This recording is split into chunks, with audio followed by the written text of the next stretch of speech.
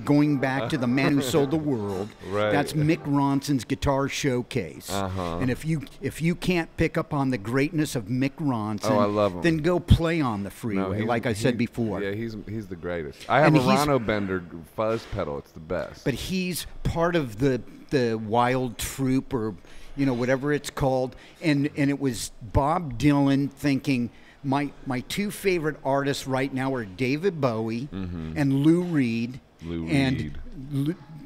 Um, Mick Ronson played a big role in the Spiders from Mars and Yeah. all of David Bowie's greatest recordings. yeah. And he also played a role. Did you see that documentary on Mick Ronson? uh, I haven't. Dude, it is incredible. It's, there's a documentary out about him that, and it, and it talks about how underrated he kind of w- was in terms of inventing that Bo- that that era of that Bowie sound and not really kind of getting fooled. Well, he also was responsible for the orchestration, Right. all of those, Yeah. all of those string parts, right. those brilliant, those brilliant genius. Like you can't, you can't place this guy on a mountain high enough. no, it's really true.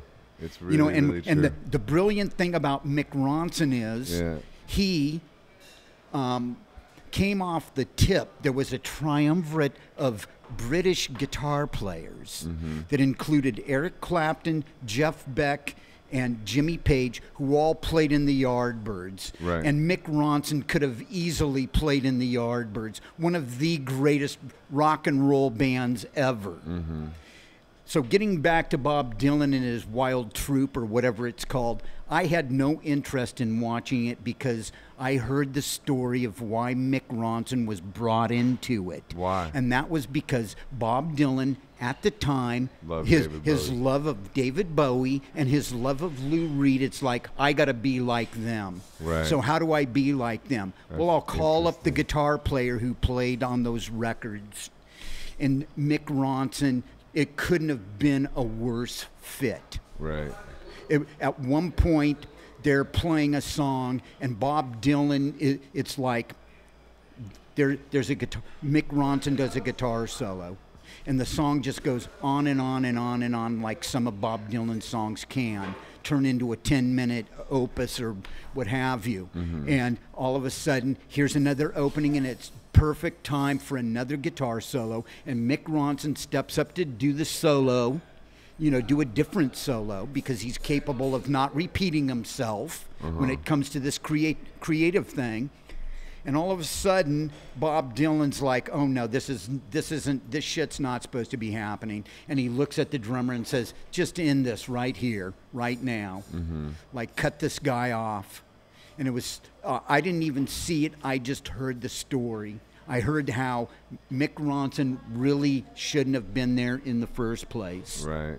Mick Ronson um, apparently had been asked to join Sparks, Uh huh. one of the greatest pop bands, one of the greatest bands to come out of out of UK. out of Pacific Palisades, Right. The they- brothers. Are they UK now? well, well, no, they went to the UK. they went to. The, they got famous and, in the and UK. yeah, they right. put out three albums on Island that are brilliant from start to finish. I got to meet those guys once. and they're brilliant. They're really Yeah. great guys. Yeah. I witnessed a concert down at Madame Wong's West.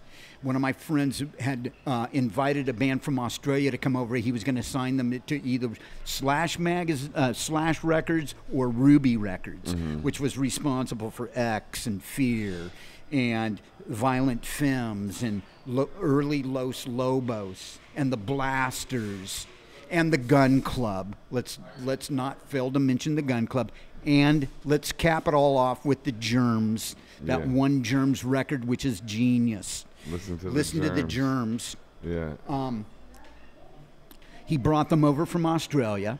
They were here for a year. They played four shows. That was all they could get while they were here in in in in, in the one year that they were here.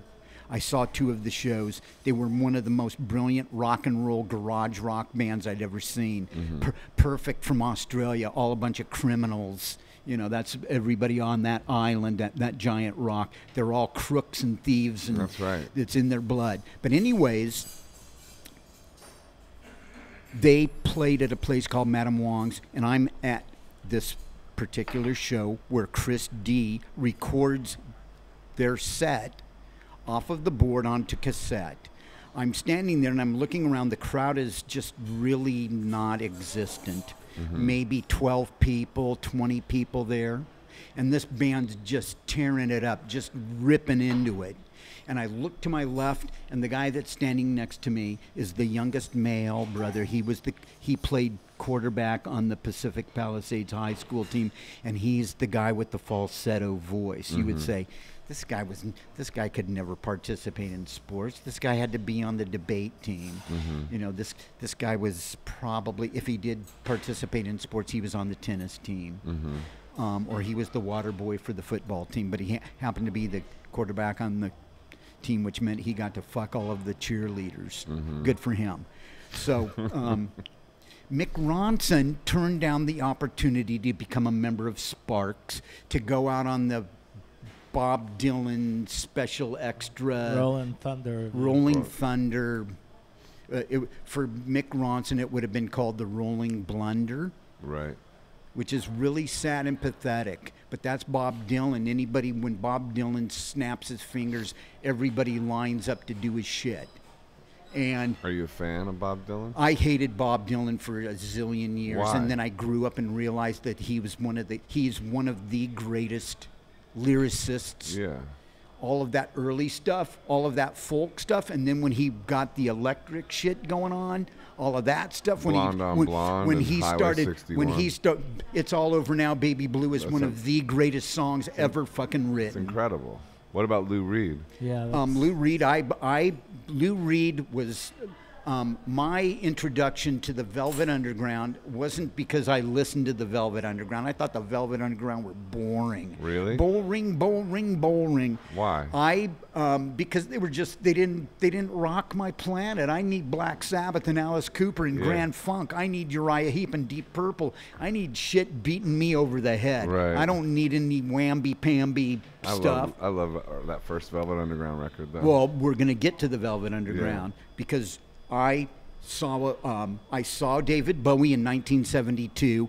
He was my introduction to Lou Reed, who I Mm-hmm. would see on the um, the um, the I want to say his second solo album on RCA.